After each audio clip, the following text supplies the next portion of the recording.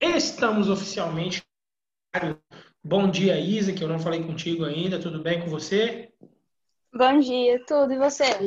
Tudo bem, graças a Deus. Sextou, né? Então tá ótimo para a gente descansar um pouco depois. É, dar um tempo para a família arrumar a casa, né? E cansar de novo lá.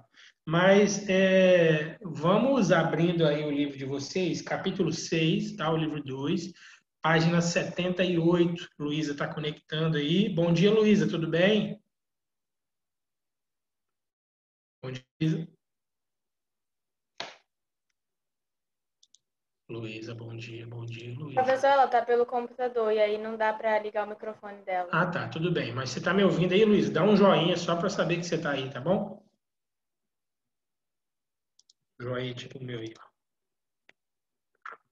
Vamos lá, vou esperar por. Depois vocês vão se comunicando aí. Pessoal, é, na aula passada, nós falamos um pouco sobre as expressões, nós falamos aí sobre a propriedade distributiva das matérias. Eu até passei umas atividades para vocês, muitos de vocês já me entregaram essas atividades. Pedi fazer um mapazinho mental e passei umas atividades introdutórias né, sobre esses assuntos.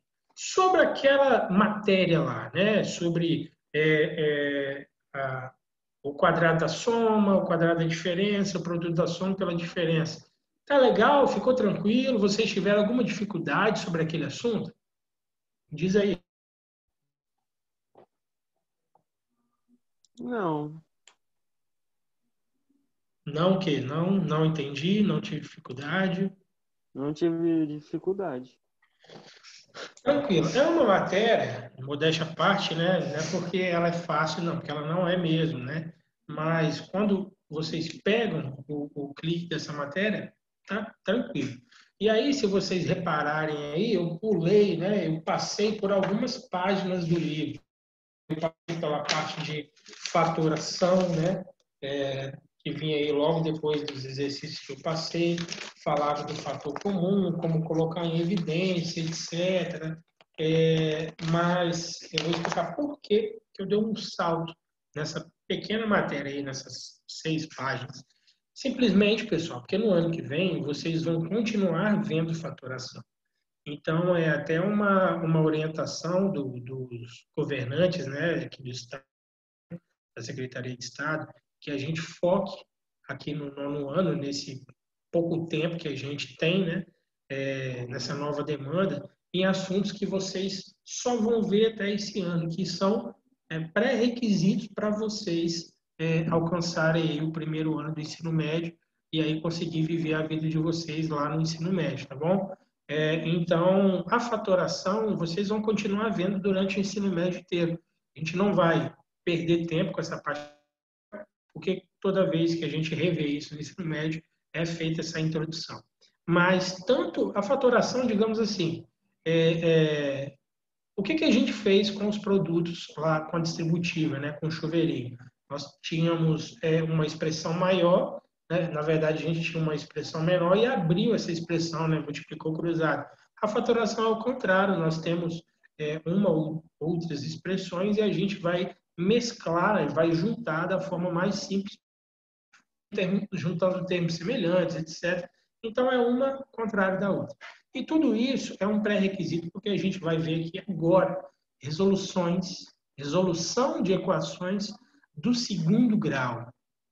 Antes de falar sobre as resoluções né, de uma equação do segundo grau, eu gostaria de ouvir de vocês se vocês têm ideia, já ouviram falar, ou se vocês vão chutar alguma coisa aí. O que é uma equação do segundo grau? Me diz aí, pessoal. Tá, Agora, eu só queria mesmo a participação de vocês. Bom dia, Meta, o Luiz está chegando. E aí, o que é uma equação de segundo grau?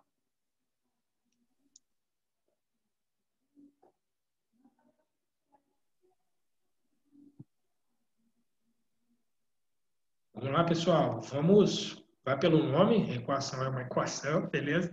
Mas esse segundo grau aí quer dizer o quê? Me diz aí.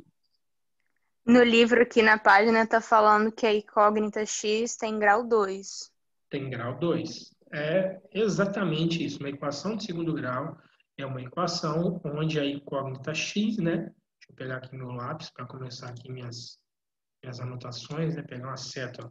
A incógnita, opa, a in... não é isso não. A incógnita x está elevado ao quadrado. Tá, Léo, então quer dizer que uma equação do primeiro grau, incógnita x está elevado a, a primeira potência, né? tipo x elevado a 1? Exatamente isso. E se fosse do terceiro grau, qual seria a característica principal de uma equação do terceiro grau, gente, pegando nesse pensamento? Seria elevado a 3. Isso. E se fosse do milésimo grau, seria elevado a mil, mil grau, entendeu, né?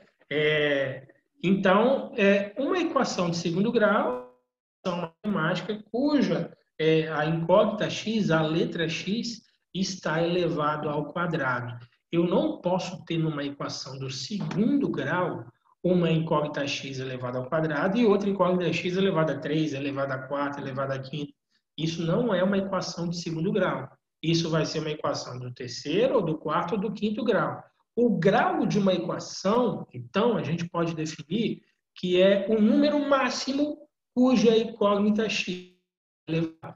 Se eu vejo uma equação e nessa equação, é, deixa eu tirar esse background aqui, esse papel de parede, porque ele já está tirando muito a minha, a minha atenção aqui. É, então, é, resumindo, né? Pronto, voltei ao normal. Resumindo, na equação é, é, do segundo grau, eu vou olhar todas as todas as letras, x no caso, né, que é que domina aí.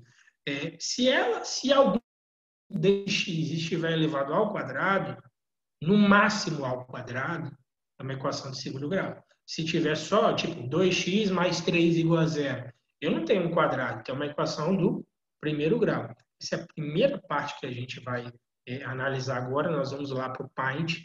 E aí, só rolar aqui para baixo aqui, né? Só para mostrar para vocês o que traz no nosso livro. É, fala muito de área, né? Quando eu tenho aqui, por exemplo, a vidraçaria calculou que são necessários 2 metros quadrados. De onde surgiu metros quadrados? Se a gente vê uma área de uma mesa retangular, né, é base vezes altura. É metro vezes metro. Então, metro vezes metro é metro quadrado.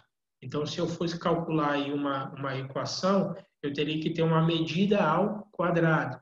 Então, toda essa parte de área, por exemplo, que está ao quadrado, centímetros quadrados, metros quadrados, é, esse cálculo de área, se a gente for escrever uma função, for escrever uma equação, resolver esse cálculo, com certeza vai ter um x ao quadrado ali. É uma equação do segundo grau, tudo bem? É, vamos só passar aqui. Legal. Isso que a gente vai ver agora lá no Python. Essa parte aqui, ó, rosa, né? É, salmão, sei lá que coisa. É uma equação na incógnita x é denominada equação de segundo grau quando estiver escrita na forma geral. Olha a forma geral, deixa eu quadrado aqui maroto. Olha a forma geral da equação de segundo grau. Ax ao quadrado mais bx mais c igual a zero. Onde a, b e c são números reais e a tem que ser diferente de zero. Léo já ficou grego, já não entendi nada. Me explica aí de novo. Primeiro eu vou falar de a, b e c. Tá? Se vocês repararem aqui, a, b e c eles estão na equação de segundo grau, os termos, digamos assim. E, e só para resumir de uma forma muito simples, A, B e C são números, números reais. 1, 2, 10, menos 2, menos 15, 3,2, 2 sobre 4, qualquer tipo de número real, tá? Só não pode ser um número imaginário, mas isso aí vocês só vão ver no ano que vem, tá bom? Eu já até dei uma prévia para vocês nas aulas, mas vocês vão ver no ano que vem. Então, o que, que pode aparecer no lugar de A aí? Ah, pode ser 2x ao quadrado. Então, A vale quanto? 2. Ah, se for menos 2x ao quadrado, então A vale quanto? Menos 2. Se for só x ao quadrado, se não aparece ninguém é porque é 1. 1 vezes x ao quadrado é x ao quadrado. E assim por diante. A gente vai fazer esse exercício aqui agora é, com vocês, né? Vou abrir ele no parte, só para a gente matar essa primeira parte que é uma parte muito importante, que essa é a base, né, o beabá dessa matéria, para você calcular as raízes, a gente, eu vou te falar também agora por que que aqui, nessa, nesse lugar aqui, aparece sempre igual a zero, tá? Eu vou falar para vocês também por que aparece igual a zero ali, tá? De onde saiu isso. Então, deixa eu só fechar aqui, nós vamos ali para o Paint agora. Entenderam até aqui, pessoal? A, B e C, a forma geral é essa, então sempre vai ser essa a forma geral. A partir dessa forma geral aí, a gente vai analisar ah, qual o valor de B, qual o valor de C, e aí calcular o que precisa ser calculado. Até agora está tranquilo essa introdução? Sim ou não? Me socorre? Sim. Show! Então vamos lá. Para o Paint. Bom, aqui no Paint, vamos focar né, é, nessa primeira parte aqui, que eu destaquei para vocês. É, essa é a minha forma geral, essa aqui de baixo, tá? Minha forma, perdão. ax ao quadrado mais bx mais c é igual a zero. Forma geral de uma equação de segundo grau. Por que, que ela é de segundo grau? Porque quando eu observo a incógnita x, ok? O maior grau da incógnita x é 2, por isso que é uma equação do segundo grau. Ah, Léo, mas aparece um x elevado a 1 ali no outro lugar. Então não seria do primeiro grau? Não, tem que analisar a equação inteira. E aí, analisando a equação inteira, o de maior grau é 2. Se eu tivesse aqui um x ao cubo mais x ao quadrado mais bx, então o grau seria 3, porque eu só vejo o maior. Tudo bem? Legal aqui, pessoal? Sim? Sim. Show. Por que, que sempre que eu vou achar, eu vou que, que perdão, sempre que eu quiser achar as raízes, né, resolver aí as, a equação de segundo grau, eu vou ter que igualar zero.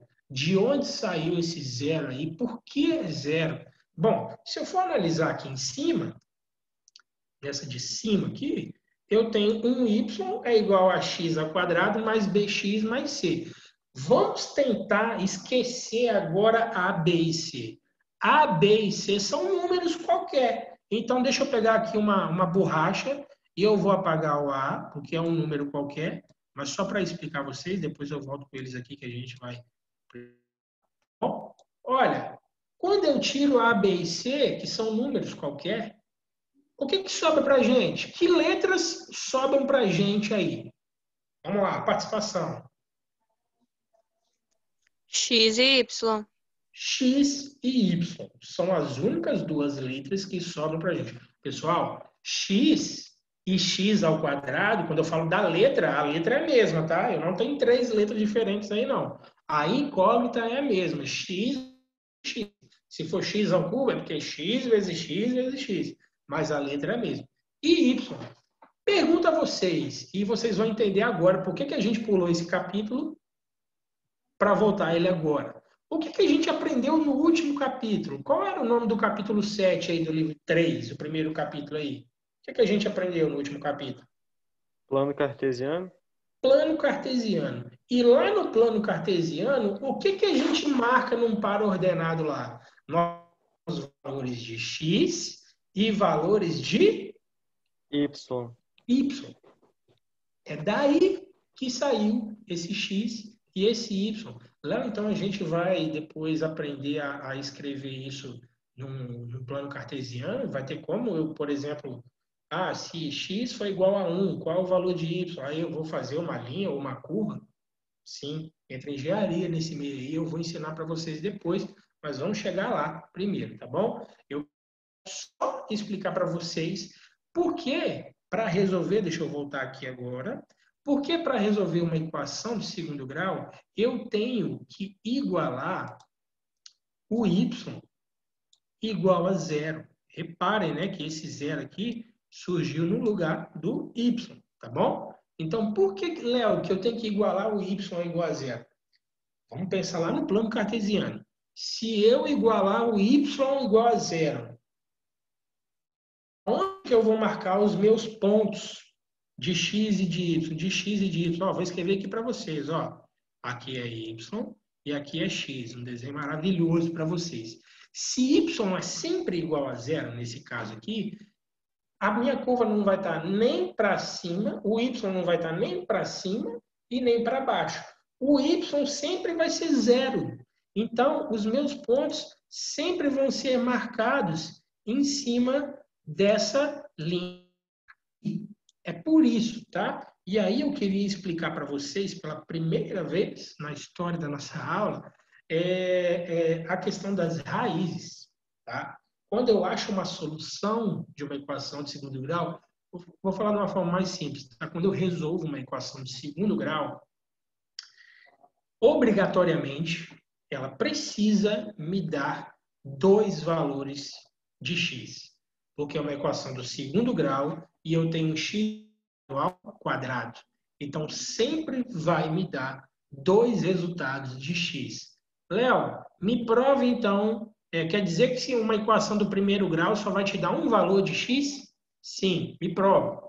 Te prova agora. Você não me pediu, mas eu pedi para você, vou te provar. É, vamos dizer aqui que é, y é igual a 3x, uma, uma equação qualquer aqui, tá bom? E aí, nessa equação, eu vou fazer o seguinte, que y é igual a 3, tá? Se eu sei o valor do y, dá para calcular o valor do x. É a mesma coisa aqui, se eu sei o valor do y, nesse caso aqui, né, é zero, eu consigo calcular o valor do x também. Mas vamos fazer aqui. Digamos que y seja igual a 1.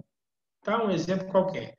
Então, ficaria, resolver aqui embaixo porque não tem espaço. Ficaria 1 é igual a 3x. Para eu resolver, para eu saber o valor de x, quando y é igual a 1, esse 3 que está multiplicando, ele vai passar dividindo.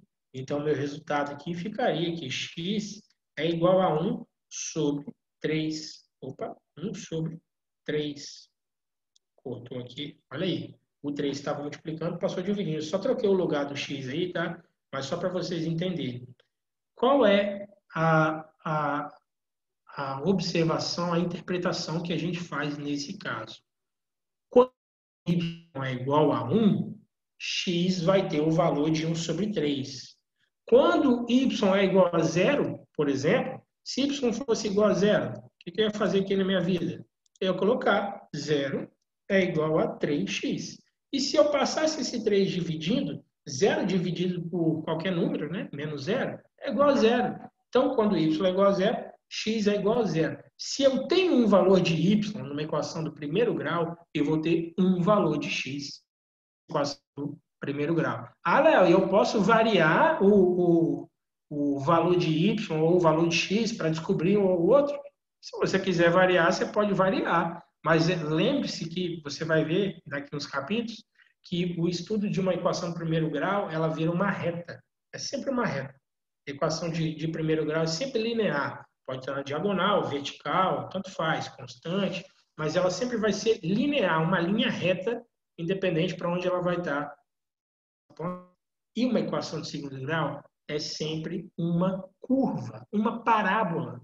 Vocês não sabem o que é uma parábola? Lembra da antena parabólica? Por exemplo, ela tem um formato de, de U, né? digamos assim, né? ela é um, uma colher, né? mais ou menos assim, e a gente vai estudar se ela tiver, se estiver para baixo, se estiver para cima, isso vamos sofrer depois. Então tá, o que, que eu queria de vocês, que vocês pegassem aqui? Uma equação de primeiro grau, ela vai ter um x a cada y.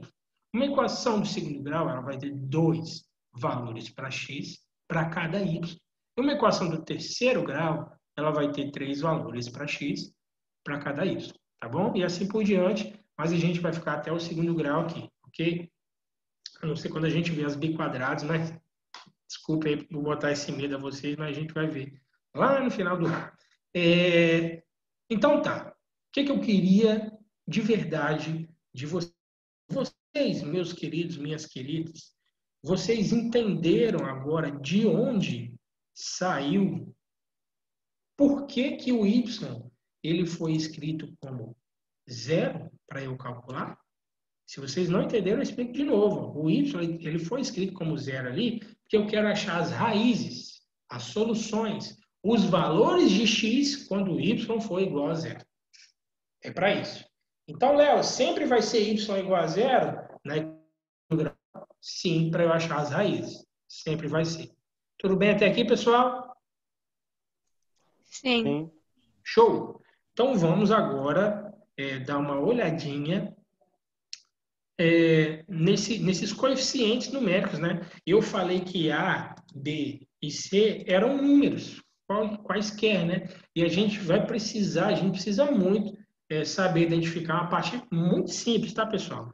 Mas a gente precisa ficar ligado para identificar que é, independente da, da minha equação que tiver aí, porque eles vão determinar os resultados, eles são imprescindíveis para isso. Então, trouxe aqui alguns exemplos para vocês, para a gente começar, é, vou pro mais fácil aqui, para a gente começar a analisar essas crianças aqui. Olha, eu trouxe uma equação de segundo grau. Primeiro de tudo, vamos analisar se é uma equação de segundo grau mesmo? Essa é uma equação de segundo grau, pessoal? Sim ou não? O que, que vocês acham? E sim, Por que é do segundo grau? porque a incógnita x ali está elevado a 2. Isso, porque eu tenho ali, né? Existe um x ao quadrado nesse caso. Então é uma equação de segundo grau. Parabéns. Agora, vamos analisar o seguinte: é uma equação de segundo grau completa ou incompleta? Léo, como assim? Você não falou disso já me perguntou. Sim, mas você vai ter que saber depois se é completa ou incompleta. Olha, a forma geral ela tem né? ela tem a x ao quadrado bx e c, três termos ali. Se eu tiver, então, uma equação do segundo grau que tiver dois termos só, vai estar faltando alguma coisa, sim ou não? Sim, É lógico, né? Que sim. Então, nesses casos, eh, vão ser chamados de equação de segundo grau incompleta, mas vamos até lá. Analisando aqui, comparando essa nossa equação com a forma geral, a gente vê que tem três termos, o x ao quadrado, o termo do bx e o termo do c que está sozinho na vida, ele não multiplica o x ali, tá? Então, eu tenho aqui, ó, 2x ao quadrado mais 3x mais 6. Agora, eu vou querer saber de vocês, preciso da ajuda de vocês aí, para que vocês me falem. Qual o valor de A na nossa equação de segundo grau? 2, 2. Positivo ou negativo? positivo. Positivo. 2 positivo. Agora, mais uma pessoa, sem ser a Bia, é, qual o valor de B? 3, 3. Positivo ou negativo, Isa? positivo. Positivo. Vocês sempre têm que fazer esse, essa análise, porque daqui a pouco vocês vão ver que vai ser preciso. É, mais alguém aí, ou Luísa, Guilherme, Luiz, qual o valor de C aqui na minha equação? Seis. 6, né? Uhum. 6 positivo. Então, eu tenho aqui os valores de A, B e C. Não é, pessoal, até agora.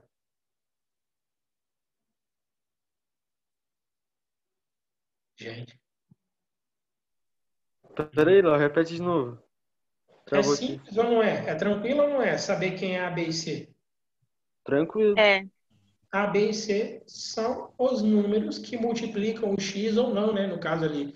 A, A sempre vai ser um número que multiplica x ao quadrado. B sempre vai ser o número que x elevado a 1. Esse aqui. E C sempre vai ser o caboclo sozinho na vida.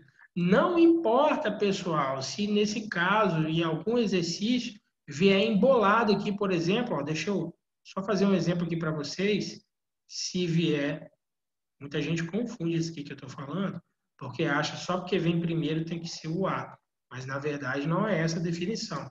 Ó, eu posso ter aqui, por exemplo, é, é 3x 6 mais é, 2x ao quadrado igual a zero. Deixa eu checar aqui.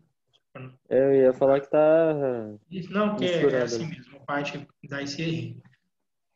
Ah, aí eu falo, qual o valor de A? Aí vem o bonitão, a bonitona lá fala 3. 3 por quê? Não, porque veio primeiro. Sempre que vem primeiro é o A. Não é essa a definição. O A é sempre quem multiplica o x ao quadrado. Então não importa. x ao quadrado, 2. 2x ao quadrado, ele é o A. Quem é que multiplica o x elevado a 1? 3. Então 3 vai ser o B. E quem está sozinho na vida? 6. Então ele, que é o valor de C. Tudo bem, pessoal? Entendeu essa parte? sim. Sim. Sim, boa. Então, vou para o segundo exemplo aqui e vou trazer um número negativo, tá? Um dos três vão ser negativo e está na cara qual é, tá? Porque é o único que tem negativo ali. Mas me diz aí, Luiz, qual o valor de A, Luiz, na minha equação de segundo grau? Qual o valor de A?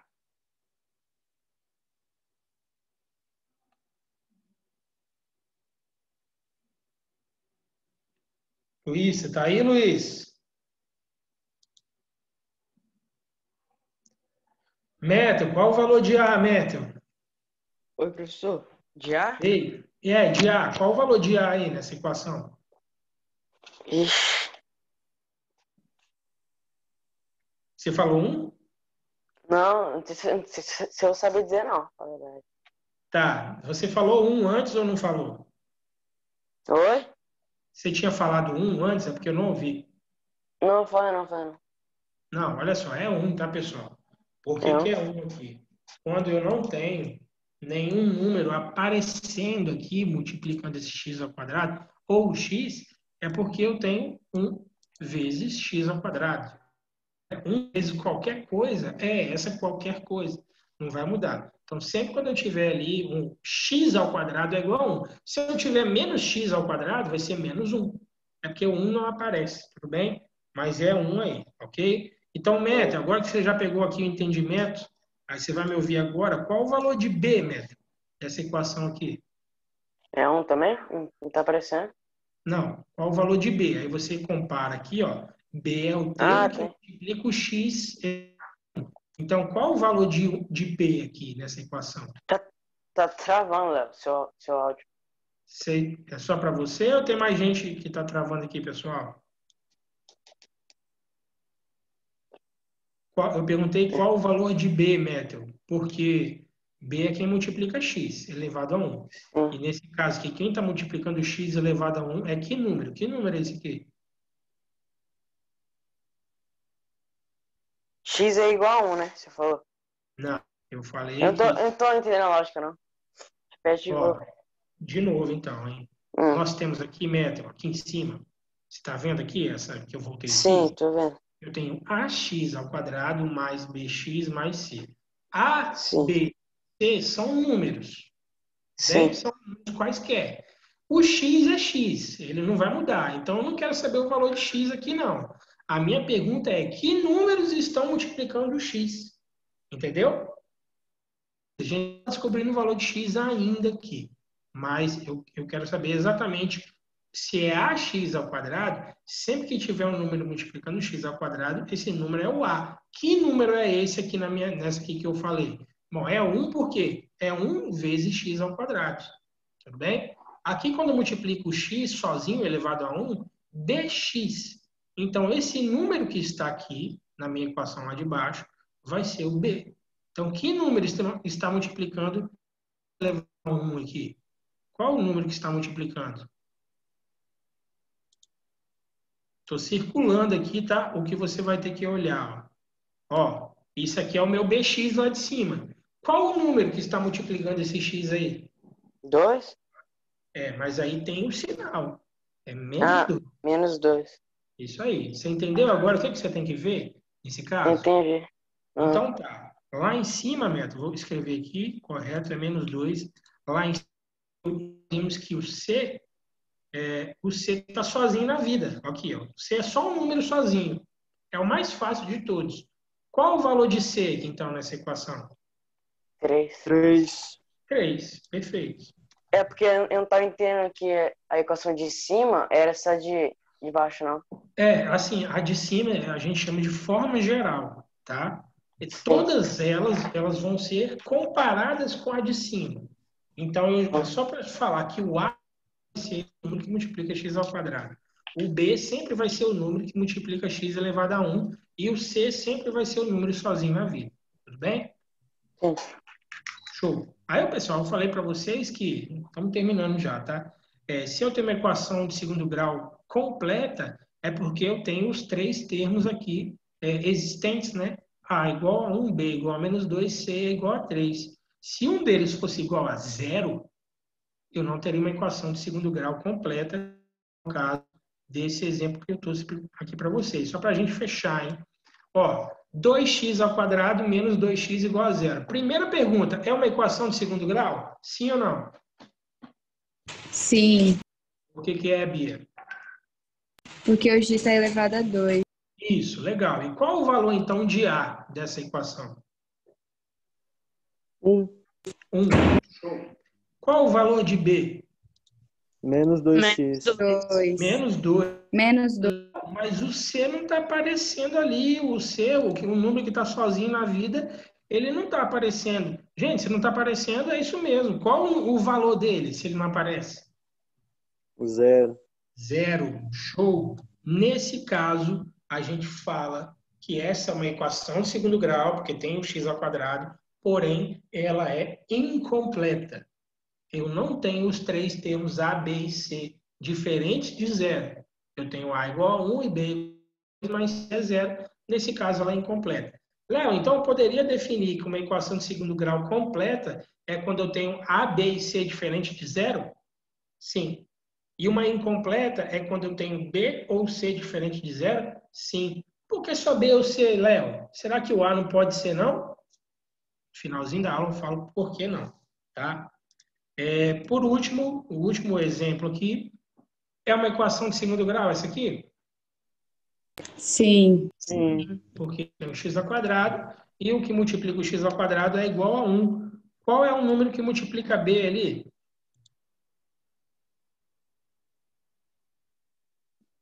Caraca, mano. Não Tem? tem. Não Não tem, é o zero.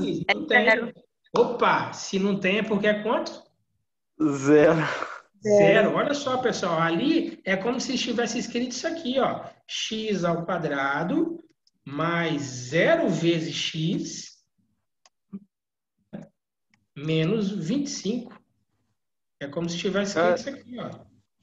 Peraí, deixa eu só Então meio que então é, meio que inverteu, né, os números e tal. Não, não inverteu, não. Ó, era como se tivesse escrito isso aqui que eu acabei de escrever. Ó.